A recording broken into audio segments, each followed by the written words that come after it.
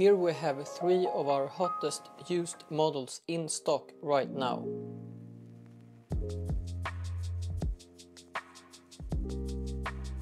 This version of the Royal Oak is matching the diameter size of the original version 5402 with the same diameter size at 39mm. If you would look at both models, it's not easy to tell them apart in their general design.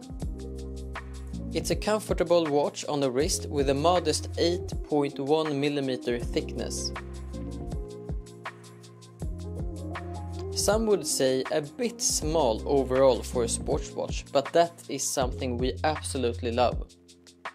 Every sports watch doesn't need to be big and bold.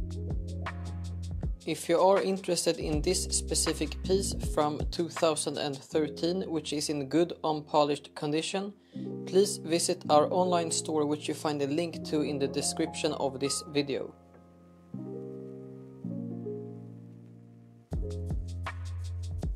The Rolex Daytona has always been a beautiful watch with a classic, sporty and timeless feel to it. The white dial has many contrast-rich and interesting features which makes it easy to read. The white dial also contrasts nicely with the black ceramic bezel. The Rolex Daytona is a difficult watch to get hold of, but it wasn't always like that. In its first couple of years it wasn't as popular and it took a while until it became more and more popular to what it is today, a truly iconic and desirable watch.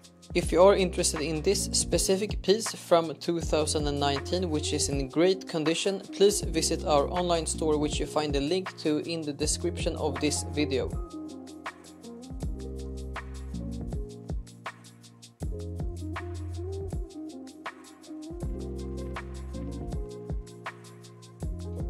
This limited edition tribute model we have here is a bit smaller at 40mm in diameter than the original one which was 41mm.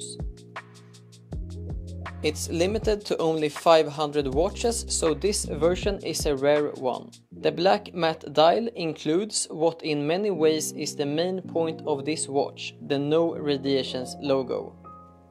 It is water resistant up to 300 meters and has a sapphire caseback where the beautifully finished movement can be seen. It's the automatic caliber 1151 which has a 100 hour or a 4 day power reserve. Blancpain 50 Fathoms No Rad limited edition is a watch that celebrates iconic designs and details in a modern and durable case. If you're interested in this specific piece from 2021, which is in good condition, please visit our online store which you find a link to in the description of this video. Thanks for watching.